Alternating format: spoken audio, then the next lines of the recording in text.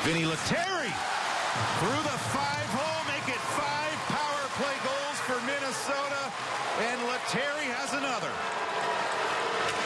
And it ties the record and ties the game.